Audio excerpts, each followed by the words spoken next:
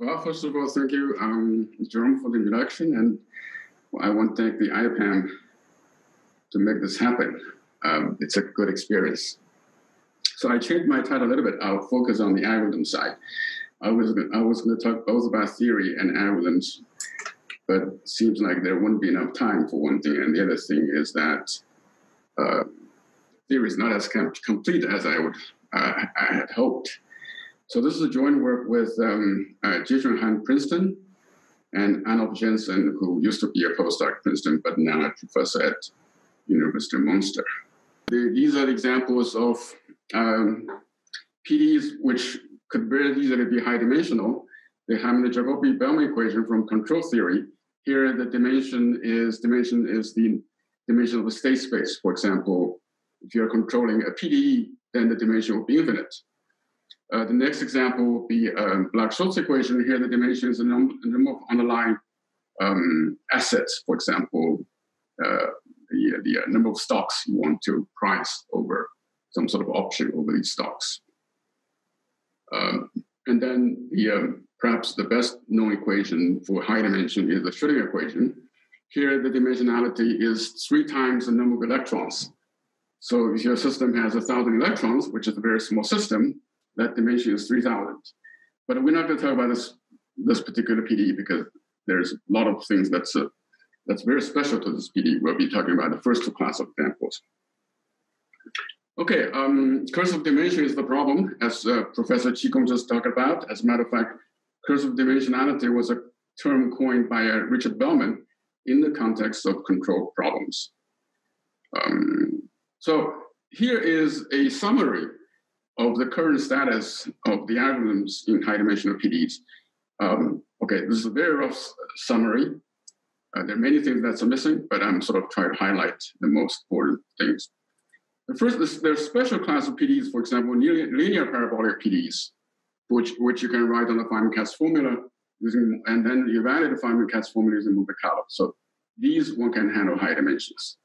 There are special PDs like Jacobi PD for which you can write down the solution in terms of Hopf formula.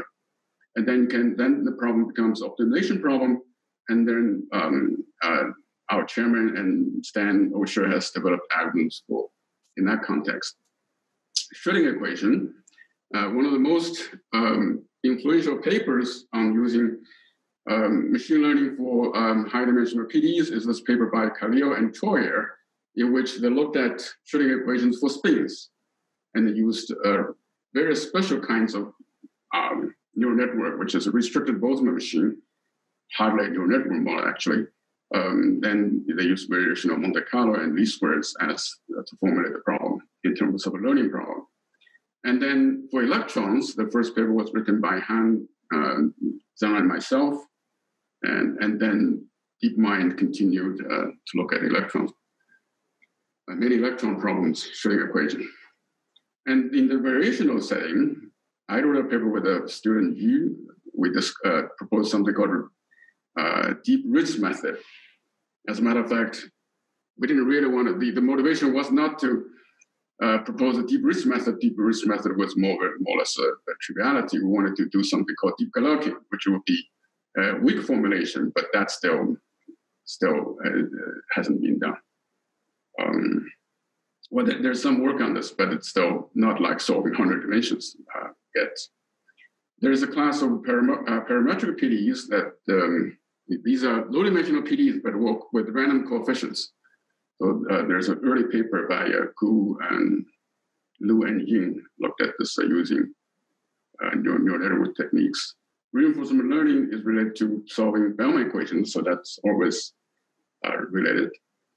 Now, my talk will be focused on this page. So control problems, especially stochastic control problems, that's um, the paper wrote, um, uh, and, uh, written by Han myself, which I think is the very first paper that applied deep neural networks to solve high-dimensional scientific computing problems. In the deterministic context, you've just seen the talk which discussed this problem using neural networks to solve high-dimensional deterministic control problems. And in semi-linear parabolic PDEs, this is a, there's currently a lot of work. There's special classes of uh, semi-linear parabolic PDEs for which you can formulated as a branching diffusion problem. So there are algorithms associated with that. But it's sort of rather limited, not just in terms of application, but in terms of the uh, performance, uh, limited to small time, small data problems. Multi-level Picard method, which I'm going to mention a little bit, that's currently perhaps sort of the most studied in terms of theoretical analysis and um, and then deep BSD, which I'll also talk about, and then related uh, uh, uh and and then the uh, deep uh, the work of uh, actually I can't pronounce these names. Um, you can see at the end of the page. Um, so they proposed something called um, deep Galerkin method, but what they really did was d squared. So as I just said, deep Galerkin is still a bit of an open problem. The problem with deep Galerkin is that you want to to do weak formulation. I think weak formulation into, in the context of deep learning is still in general issue. So this is a summary of the algorithms. Uh, let me just say a little bit about theory. So theory here, here means two things, but actually there's one thing. Theory, on one hand, we talk about convergence theory. On the other hand, we talk about PDE theory, so high dimensional PDE theory. So uh, let, let, me first say some, uh, something about convergence theory. So there are two results uh, about uh, um, convergence theory. One is for multi-level Picard, which I'm going to mention a little bit. Here we've proved um, that if you want to get an error of order epsilon, then the number of samples, namely the complexity required, is bounded by a constant, 100, times d, which is the dimensionality, times epsilon to the minus 4, plus any you know, little delta. The same result can be proved for neural networks. So you can prove that for the class of PDEs that we're going to talk about, you can cook up, you can cook up, construct a neural network with whose number of parameters is bounded by the same kind of quantity, and whose the error of the approximation will be less than epsilon. Okay, so these are the right now the convergence theories, uh, convergence, uh, the complexity estimates. Now we're also interested in study the PD itself, the solutions of PDEs. For example, you know, in classical analysis of PDEs, we would try to prove that solution would have some regularity, some Sobolev Bessel space regularity. I want to emphasize that in high dimensions, the questions are different. I would say it's not about regularity. You know, if you if the solution have, has five derivatives or 100 derivatives, doesn't really matter too much, but rather about the complexity if we say the solution is in Danska space, so that's a kind of a space which has low complexity, that means a lot. So these convergence theorems that I stated above, in some sense, is the is an, uh, are estimates about the complexity of the solutions. Here are the three papers I'll talk about: the paper on 19, uh, 2016 paper on control, and the two papers about BSD, uh, EPSD methods. So let me, before I start about neural networks, let me say something about multi-level Picard. So you consider this nonlinear uh, hyperbolic equation, terminal condition. So this is the wrong sign because this is in the context of finance problems. So we talk about terminal problems instead of initial problems. So multi-level proceeds in the following way. First, you write down the nonlinear PDE as an integral equation using Picard iteration. Now, when you write the guide relation, there is an integral operator associated with the heat, heat kernel, and you can express that heat kernel in terms of Wiener process. So step one. Step two, you set up an iteration scheme, the guide relation, but you write that in the incremental form. So un is equal to something like un minus one, uh, u, un minus one minus un minus two, so incremental form. And then in each one term of this incremental form, you do Monte Carlo but you don't compute Monte Carlo with the same kind of accuracy. So this is multi-level Monte Carlo. The details, I'm not going to go through the details, but what I want to say is that for this scheme, one can show, prove rigorously, that for the kind of equation uh, that, that's listed here, the computational cost scales like you know linear in terms of dimension and epsilon to the minus four. And that's uh, uh, at the present time, this is the, up to my knowledge, this is the only algorithm, algorithm that's shown globally to converge with this kind of a, a, a complexity estimates. So let me talk about BSD. So start with linear equation. So linear parabolic equation, uh, you can write down. So here again is a terminal con- conditions given. We want to compute, say, u solution at t equal to zero. So this is not the usual formulation, but for finance people, it should be familiar. So the solution can be expressed in terms of the stochastic process, dxt, the diffusion process.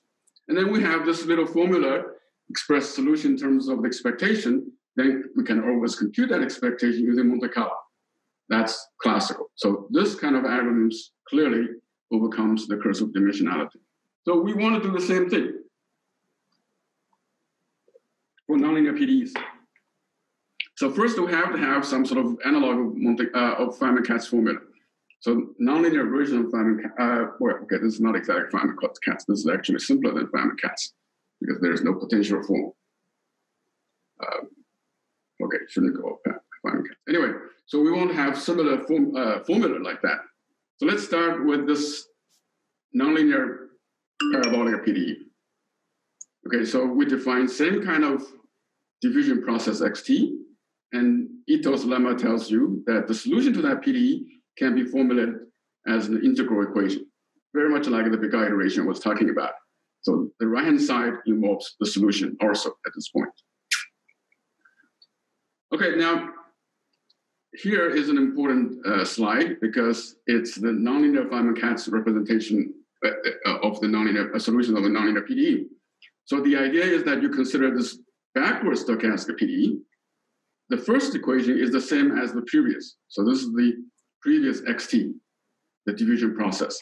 The second equation, the y there, is really like if you, you want to if you want to think about the PD, y is very much like our um, u, and the z here is very much like the sigma times the grad u.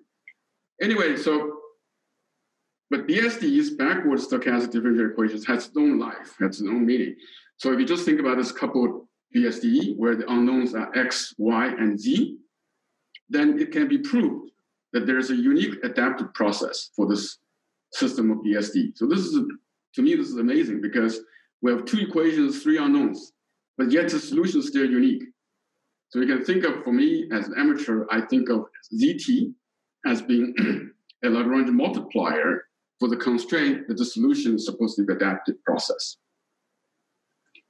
Okay, so now, and this is also related to the Pontryagin maximum principle for the parabolic, uh, for the stochastic control problem. Remember, uh, Gongqi mentioned Pontryagin maximum principle. This is the uh, sort of analog in the stochastic control case. Anyway, so using this BSD the BSD that we know we have, there's a unique solution, we can now formulate the PDE problem. We can now write down this, uh, uh, uh, okay, maybe I should, okay, maybe I should say the connection between, I already said this, the connection between the BSD and the PDE is that the Y stands for U, the Z is a bit like the sigma times grad U. Okay, anyway, now we can formulate the PDE as this variational problem. Namely, we're minimizing with respect to U0, which is the solution we want to compute, and ZT, that's sort of the Lagrange multiplier. We, minim- we, we, we minimize over that set of choice the expected difference between G, the terminal condition, at Y, at big time t, subject to that X and Y satisfy the BSD. One can show there's a unique minimizer, and that unique minimizer is a solution to the PD. Now, I want to sort of emphasize this because this reformulation of the original BSD, uh, original nonlinear PD, because there's sort of the tendency now that deep learning is such a powerful tool. So we just apply deep learning blindly to whatever problem we have at, time, at, at, at our hand. I personally feel that's probably not the right approach for any problem we have in hand. We really have to formulate the problem in such a way that's really adapted to deep learning. And I'll see what I mean by that. So here's the first step, namely reformulating the, the nonlinear PDE problem as a variational problem. And this variational problem is going to be our loss function for the, uh, for the learning problem. Okay, so here the algorithm. step one is to discretize in time. So remember, so let me say, remember, we want to compute this guy. We want to compute this map from initial from some point x to the value of the solution at that point. Okay, so these guys, but we can represent them as neural networks. So step one is to discretize in time. So then the, the, the continuous problem, the variational problem we're talking about, becomes this discrete variational problem. The BSD is discretized in the same, in the same way. So now the observation, the key observation is that we're going to have a subnetwork for each discrete time Tn to represent these guys, these, these, these Z's. And the whole thing together, all these subwords stacked together would be a global composite neural network. So the neural architecture is a little bit like this. Remember, we're going to parameterize, we're going to use neural networks to parameterize two things. One is this guy, the solution function, and the other is the Z, the Lagrange multiplier. So each one of them is represented by a neural network. So in total, its architectures look like this. So here we have the neural network for, uh, what is it? So here we have the neural network for the Z at this time, T1, neural network for Z, uh, T2, and et cetera, et cetera. Okay, and then the, the, these, each one of these neural networks takes sample of the noise because these are Remember, these are the, these solutions of the BSD is encoded here. And for each BSD, for the BSD, we have the sample of the rent of the Wiener process, the noise. And then, so this is a composite neural network. So if each subnetwork has H sort of uh, layers, then the whole thing will be roughly like H plus one, you know, number of layers here, right here. Okay, so now as I said that the um, the um, uh, loss function is this guy. The loss function is this guy. We just we just just going to minimize this loss function using stochastic gradient descent, and we call this the BSD method because clearly we use BSD formulation. Okay, why does this work? So there are three important ingredients for deep neural networks. The first one is data. You have to have data. Remember in Qi Gong's talk, he started out by saying we have to compute some solution to get the data to train. So here we didn't have any training data. in our training, our data comes from the noise, the sampling of the Wiener process. So this is an example of machine learning without data, with no need for data. And we coined, my students and I, we coined a little term, terminology for this kind of learning, which is concurrent learning. So, okay, anyway, that's not important for this talk. But namely, but it's important to realize that we are doing machine learning without pre-computing or getting you know some data beforehand. The second is that I told you that this is a really deep neural network, usually. You know, several hundred layers is easily several hundred layers. How can we treat or train such a deep neural network? In the context of supervised learning, we learned that if you really want to train very, very deep neural network, the network better be a ResNet, better be in a residual form. And here you can notice that naturally your network is in a residual form because the U is in a residual form. So it very naturally, this is a ResNet, resembles nested, nest, uh, uh, uh, ResNet. And then because the noise comes from the Wiener process, so naturally this is fitted with, very much fit with stochastic gradient descent. So this is the work we, you know, that went into the development of BSD. We try to formulate the method in such a way that it very naturally fits, uh, uses the um, deep, net, uh, deep neural networks, all the advantages of deep neural, neural networks. Okay, let me show you some examples. Okay, so, uh, here are some implementation details. Um, actually that's not so important. Um, um, but it, you know, it's important to know that it runs on a simple machine, MacBook, MacBook actually, and there is a code um, um, that everybody can download. As a matter of fact, many people download the code and they're trying themselves. And here's the access to the code, and it's maintained by Jiequn. So this is an example of stochastic control. Very simple example, simplest example of stochastic control. In the Hamilton-Jacobi equation, this guy looks like a viscous um, Hamilton-Jacobi equation. So this looks like if you, and then the solution can be expressed in this in this form. So we take this example because the solution can be expressed as an expectation. If you recognize that this is actually the Hopf-Cole formula, no, yeah, this is actually the Hopf-Cole formula for the uh, viscous case.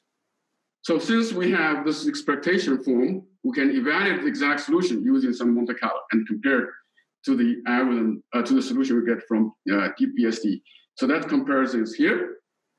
You know, this is a, the horizontal is a, is a, is a value of lambda, uh, vertical line is are the solutions at a particular time. We're doing this in 100 dimension, as you notice. no, it's not said here. But anyway, we're doing this in 100 dimension. And here are the details in the text, like 300 seconds on the laptop. And this is the sort of the training, um, the, the, the, the, training, uh, how the training process goes. The shaded area is the shows the standard deviation when you do different samples of the noise, and the mean is the mean. Um, okay, so this is one example. The second example, a more realistic example, is Black-Scholes equation with default risk. So Black-Scholes equation is for pricing options. And here we take into account, um, so if you um, if your option, you know, basket option, for example, you have a basket of these underlines, underlines, and then it's a high, then you would have a high dimensional problem. And we are also taking into account some nonlinear effects, for example, default uh, risk. And we're taking a model from uh, a paper by a classical paper by Duffie, where they treated um, the five-dimensional case. And so this is the kind of nonlinearity that goes goes into the equation, where Q is some nonlinear function, has a very com- rather complicated expression that I'm not going to write down. And these are the uh, sort of assumptions that goes into the model. Anyway, you can solve this again in 100 dimensions. So in this case, we don't have exact solution, but we have the uh, uh, multi-level Picard method. So we can use the multi-level Picard method to compute another solution, which we regard as an exact solution. And then you can see as the, you know, the convergence as you train the neural network, the convergence to the, the solution over the multi-level iteration. Again, this is in 100 dimension. So this is sort of a little, uh, really little game we're playing. We're solving Allen-Cahn equation in 100 dimension. Really has no physical meaning as far as I can tell, but Allen-Cahn equation is an important equation for two and three dimensions in statistical physics, pattern formation, stuff like that. And then you can see that you can, you know, the algorithm BSD method solves, you know, reasonable performance if you look at the training uh, history. And on the left is just the solution as a function of time at x equal to zero. So this is the issue with studying 100 dimensional PDEs. You don't know how, what to plot. So we are plotting a time history at a particular point. So let me mention uh, the work we did in stochastic control. Basically, because for two reasons. One is that this is the very first paper, as far as I can tell, that uses deep learning for um, high dimensional uh, uh, scientific computing problem. That's number one. Uh, number two is that there is a direct method that one can use to solve the control problem. Um, also, closed loop control, not open loop, but still closed loop control. Um, you don't have to go to Hamilton Jacobi Bellman. So, for simplicity, we're looking at control problems in discrete time. So, S represents the state.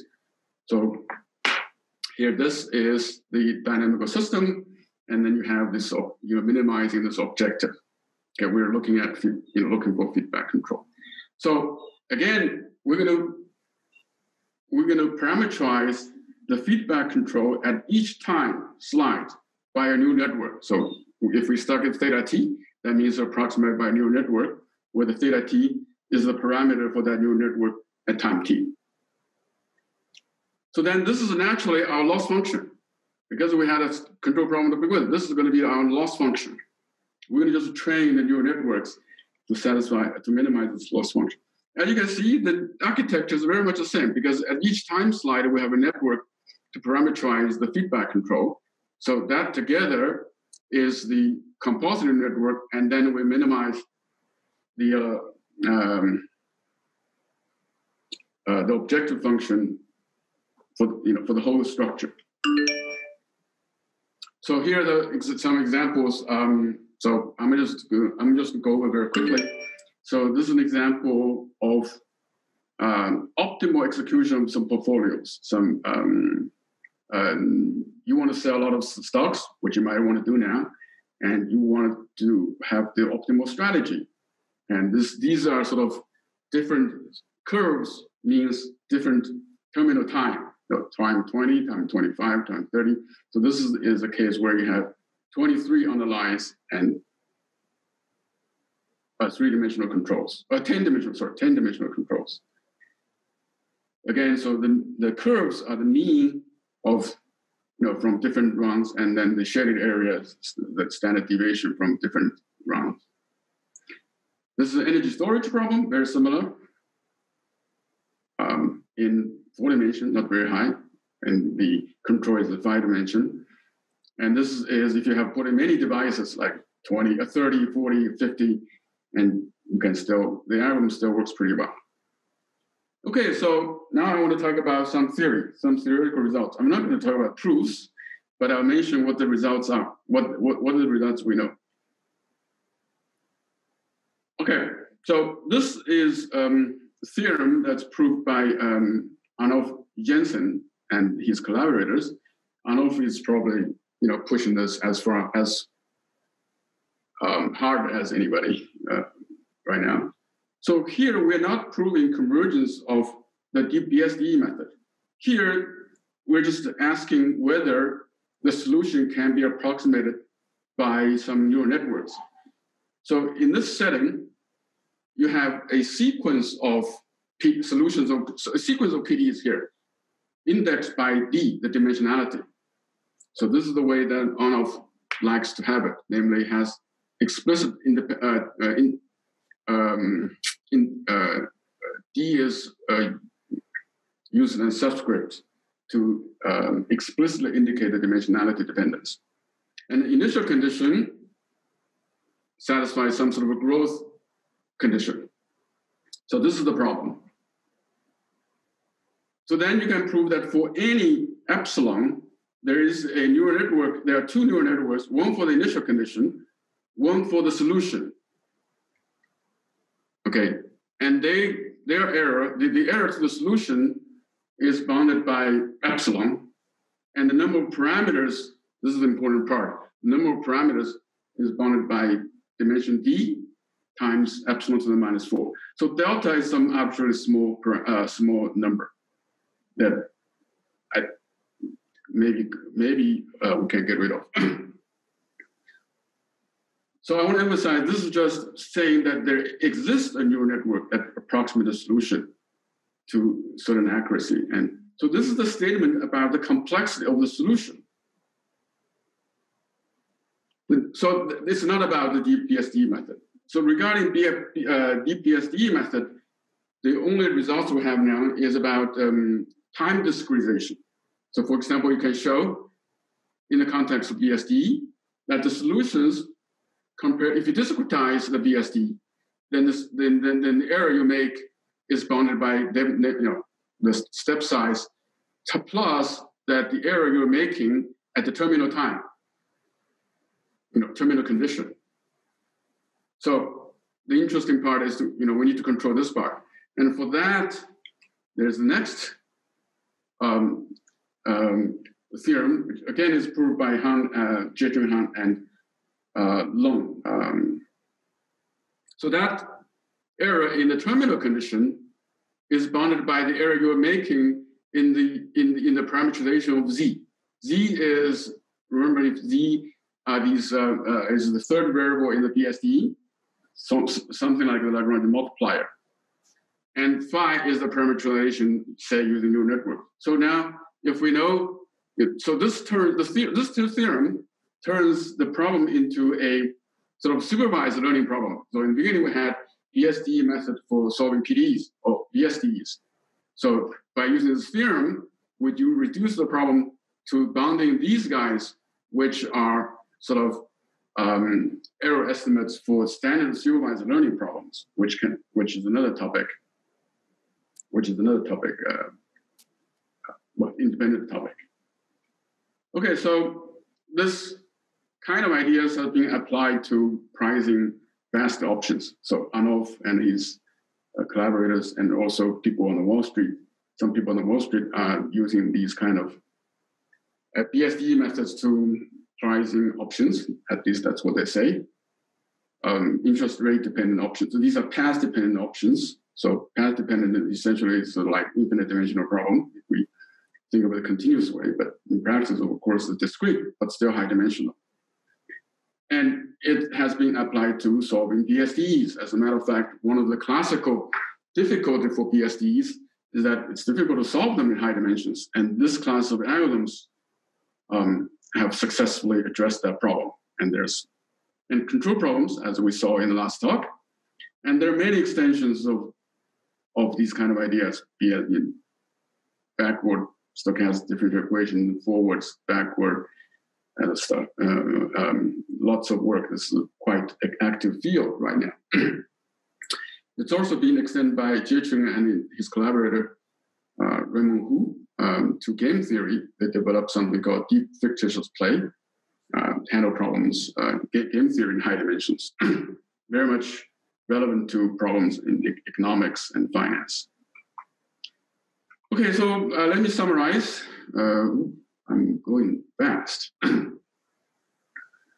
so first of all, I want to say that deep learning-based algorithms are very powerful tools for dealing with very high dimensional PDEs not just PDEs and control problems. As a matter of fact, deep learning it seems to be a very high, uh, very powerful tool for dealing with many high dimensional problems.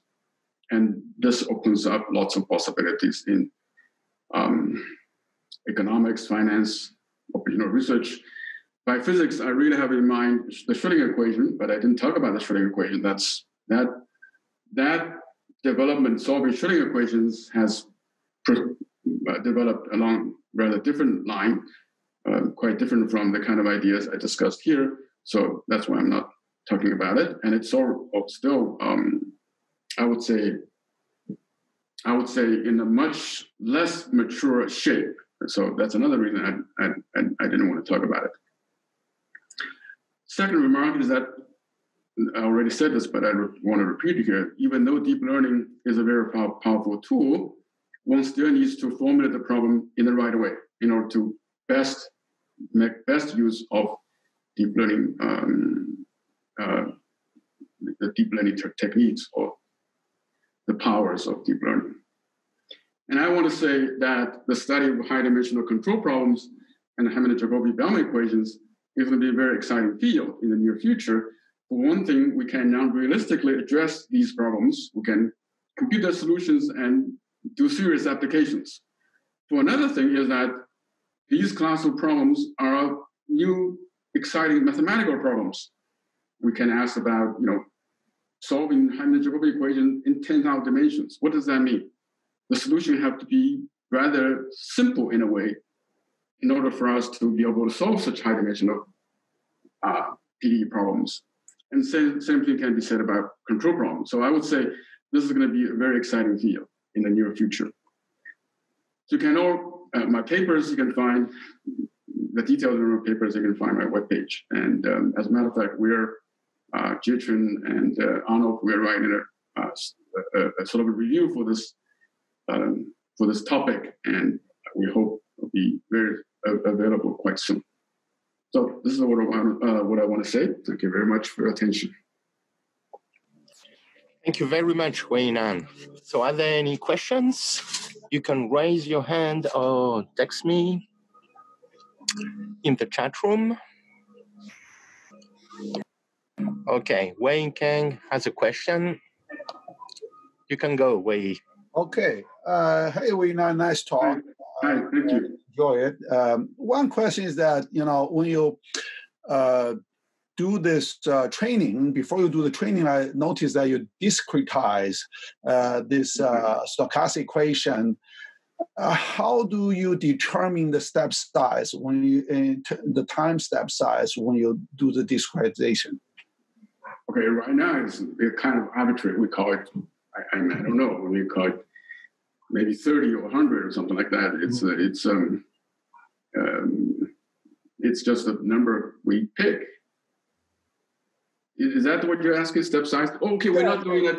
We're not okay. We're not doing adaptive time stepping. Uh, not that's not. Mm-hmm. So right now it's just equal time step, equal time step size.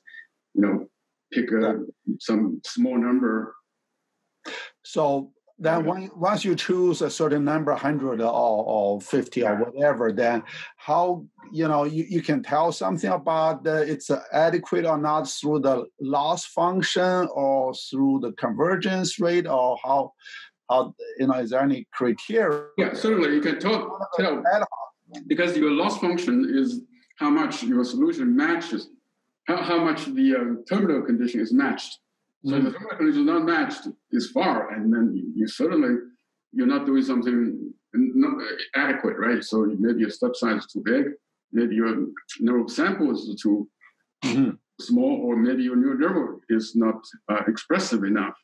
I should mention that we can always sort of the, the this problem, this algorithm is essentially infinite data problem because we can always increase the samples yeah. by you know continuously sampling the Wiener process. So um, so mainly the error comes from the time discretization and the neural network parameterization I see. Thank you. You're welcome. Okay, thank you very much. There is another question from Adam Oberman. Okay. Hi, and nice talk. Can you hear me? Yes. Yeah. So I just wanted to understand better the method. The uh, it's based on Picard estimation and the representation formula by BSDs.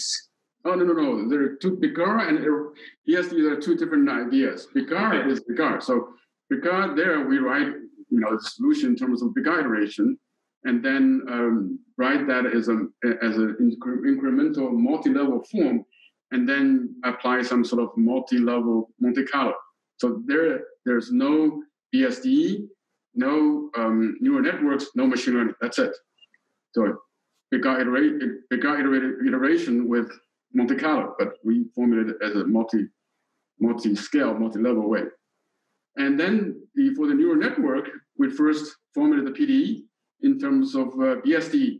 So BSD is like the method of characteristics for this for the nonlinear P, uh, PDE. So then we minimize, uh, we, we, we um, parameterize the uh, variables in the BSD, particularly the Z variables in the BSD, and using neural networks. And then it's quadrature. Quadrature. Uh, it's quadrature. So the loss function is the terminal conditions, right? And the neural network is kind of a discretization of the the z equation and the x equation. No, no, you discretize the z x, you know, the x y z equation is the BSD. Yeah. So you discretize that in time. Yeah. Then for each z, z at each time, you parameterize by a neural network. So suppose yeah. you discretize in 100 time steps, then you would have 100 z's, and you parameterize yeah. each one of these by a neural network. Okay. And so the dimension only comes up in the size of the z vector. Yeah, exactly. So as a matter of fact, this is one thing one should think about improving because this is, you know, you have, you, it's, it's clear there's a lot of redundancy, right? Because yeah. we're parameterized each z at each time step by a, another neural network. So there's a lot of improvement one can do. And do you use concentration of measure? Like that would be one place maybe where you could. Do you use it anywhere? Not at this stage, no. Okay. Okay, thank you. Mm-hmm. Thank you very much. Are there any other questions?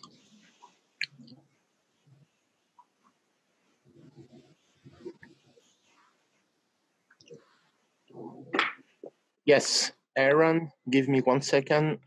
So there was a question from Aaron Palmer. Okay, you can go ahead. Hi, I was uh, wondering about what sort of considerations go into choosing the parameters for the neural network. And also, if you could elaborate more on the residual structure where that fits in. Okay, so parameters to neural network, actually, that's not much. You can see these are the parameters. Where are they? Here. So it's almost arbitrary. So four layers, one input layer, two hidden layers, and one output layer. It's almost like it's fairly robust. So th- there's not very much of a uh, thing one can. So ReLU as the activation function, optimized with ADAM, these are pretty standard. Mm-hmm. Um, what was the second question? I'm sorry. And you, you mentioned that it's important to have a residual structure. Oh, yeah, residual structure. Look at this. So, see, if you look at it, so here, here is u, right? U is no, this is this is u equation is clearly an incremental form. U tn plus one minus u tn, it's something times delta t, and that's this, is very much similar to uh, ResNets. And if you look at a neural network, so you're so this neural network here, each one of these, so the, you, you're, you're accumulating u here and then the contribution goes into the increment in the U. So that's the very natural residual structure. Oh, so it's already fit into this architecture automatically. Yeah. Okay, thank you. Yeah. If, if you don't have this, then you wouldn't be able to train this. Mm-hmm. It would be unstable.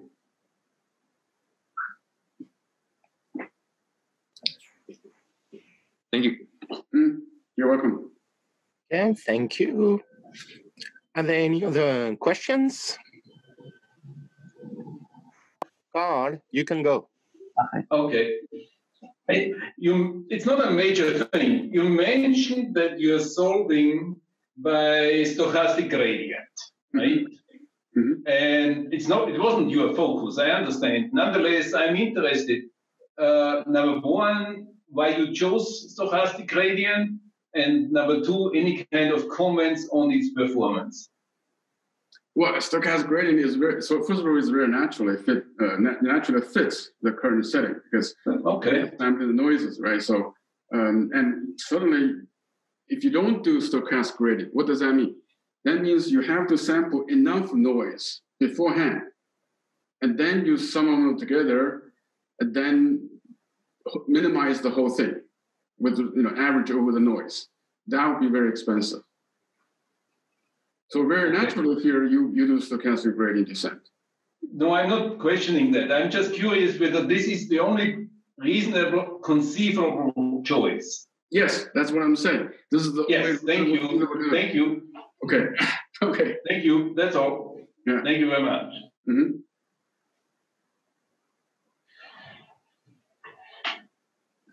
Are there any other questions?